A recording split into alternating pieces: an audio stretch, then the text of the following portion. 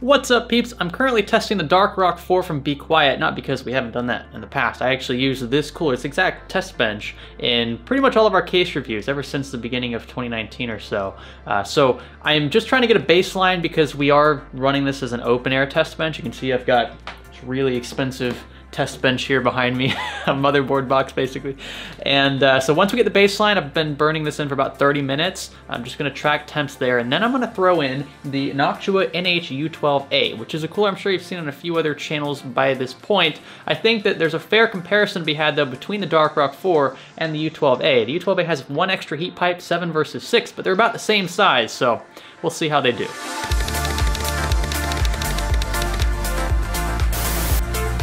It's easy to look past certain things, but an Activate Windows watermark yeah, not one of those things. Snag a verified OEM Windows 10 key from SCD Key for a little over 10 bucks and enjoy a fully activated OS without the annoying compromises. Use offer code SStudio for an 18% discount on your order. One of the things I wanted to do very quickly was show you how we stress test the CPU and GPU for these kinds of videos. Uh, I use AIDA64 because I just think it's very consistent. I like the UI, I'm familiar with it. Many ways I could do this. I could stress the, the GPU individually using like superposition or 3D Mark. Uh, I could stress the CPU CPU with Blender or Cinebench, like that's all fine, but I like that this is all integrated and I can stress both at the same time within the same uh, program. Uh, so it, it doesn't really matter very much how you stress test as long as you're stressing to the degree that you want, right? So 100% utilization, 75% utilization, whatever, uh, but you want to keep it consistent across runs. So in this case, when we switch the CPU cooler, I'm not going to touch anything in the BIOS in this program. I'm just going to run it again and we'll be able to compare uh, just side by side without any other variables for the most part at play. So I just stopped the test. We let it burn in for about 37 minutes. I'll be sure to run the, uh, the Noctua test for the same amount of time. Then we're going to come up here to to the statistics tab, and this is going to show you the mins and maxes for the entire run. So you can see our CPU cores peaked at 89 degrees Celsius, and our GPU at the diode reached 60 degrees Celsius. Yeah, that's not the best temperature. This CPU honestly kind of missed the mark when it came to the Silicon Lottery. Uh, actually, it totally missed the mark, so this is not a very good one, not a very good overclockable chip, uh, especially considering we have a 200 plus TDP cooler on top of this thing. We are using der8auer uh, Carbonaut pads though, and that is something I'll show you when I remove the Be Quiet cooler. This will keep things very consistent when it comes to quote unquote thermal paste application. Because we don't have to use that anymore, we can use a thermal pad. It keeps the, uh, the barrier between the IHS and the CPU cooler very consistent. All right, now we've got the PC powered off. I'm gonna go ahead and switch that off and we'll cycle power. Uh, one thing I will discuss after we run through the temperature test uh, is the difficulty with installation. So this cooler is actually pretty easy to install. It's much easier than the Dark Rock Pro 4, which is a much bigger cooler uh, just because the clearances here for like the screws, like the two Phillips screws on either side of this little strut bar that goes across the cooler, just much easier to access. Uh, we'll see how that differs with the NH-U12A and uh, if it is any easier overall. Very briefly wanted to show you the hardware setup here, the installation, the parts involved, and uh, Be Quiet's looks to be a bit more complicated, and that's really just due to the fact that they have less pre-installed already out of the box. As you can see we've got the Phillips screws here pre-installed over the cold plate for the Noctua cooler. Uh, we've also got pre-installed uh, little standoffs here, back plate. I have them actually inserted here, but they don't come pre-installed with the Be Quiet cooler. Not that it matters. I mean, like, this is, like, tiny stuff. I'm just trying to show you the small differences. Also, between the two coolers, let me get low here.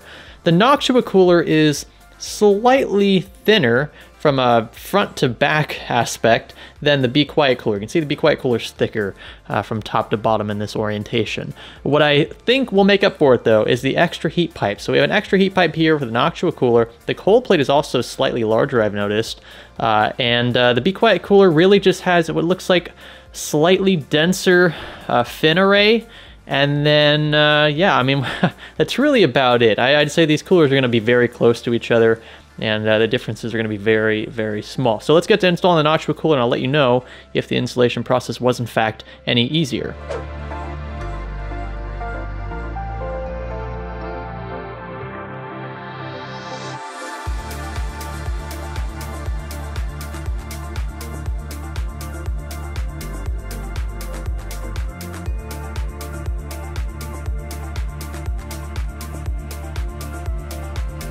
All right, and yes, the Noctua cooler was definitely the easier cooler to install. Also, thanks to its slightly narrower form factor, we have a bit more uh, clearance here for our RAM. So even with the front fan installed, we could put modules in all four slots. With the Be Quiet cooler, we'd have to use a smaller 120mm fan up front and then uh, hopefully, you know, fix some of that height clearance, but you still probably wouldn't be able to put some beefy modules in there like Corsair Dom Plats or something of the like. Another difference worth mentioning, the Noctua cooler comes with two 120 mil fans. These are great fans, by the way. They're slightly well, maybe slightly is an understatement, uh, ugly in my opinion, but they do the job very well and they stay very quiet. We'll talk about sound test here in a second. So I'm not going to cripple the Noctua cooler. I am going to run tests though with just a single fan installed and then two fans to see the difference there. We'll compare both to the Dark Rock 4. So here are the summarized graphs starting first with CPU core temperatures. You can see that our two fan NH12 UA config is actually running a bit hotter uh, and this might have to do with the fact that we're running an open air test bench. If we seal this off in a case,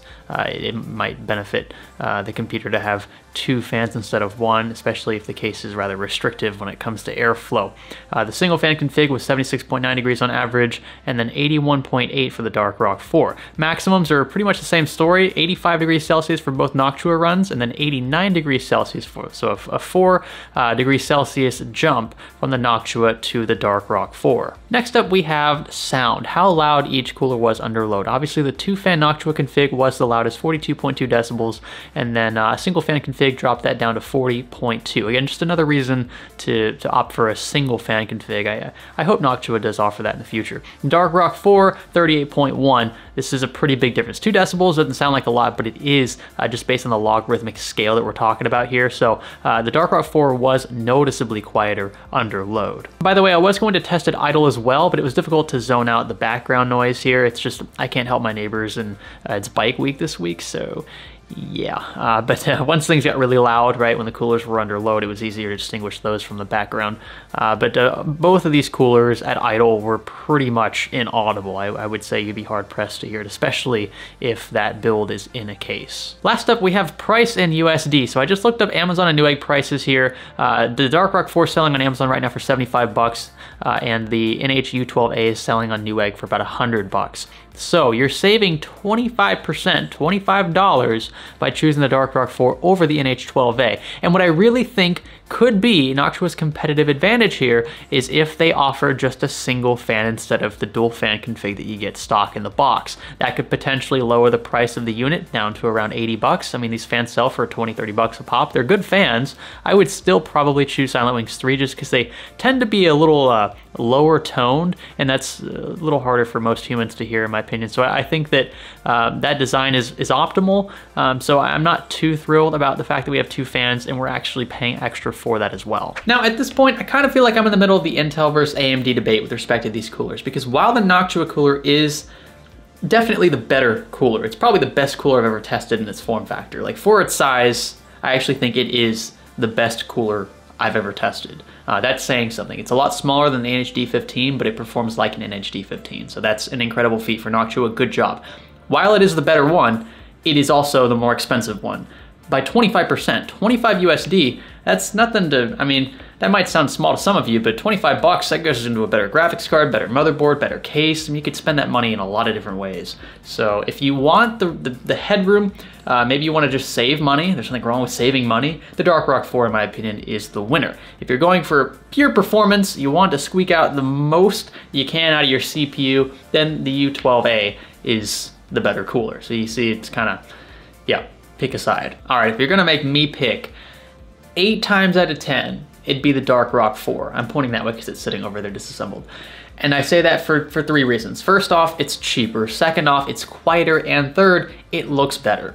That's my preference. I prefer coolers that don't look like dirt and the Noctua fans kind of do look like dirt. Look, you could smack some Chromax fans on there and it'd look great, but that's more money you gotta spend out of pocket, right? So I don't really advise that. It'd be nice if Noctua shipped Chromax fans with these coolers, or better yet, just took out the second fan, which I find to be redundant, at least in my testing, uh, brought that price down to 80 bucks. Then I would have a dilemma, five out of five. I mean, literally, uh, five times out of 10, I'd choose an Noctua cooler, five times out of 10, I'd choose the Be Quiet Dark Rock 4.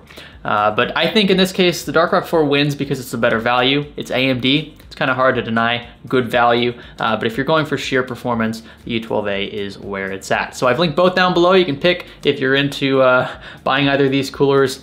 I bid you farewell. It's going to be a tough choice.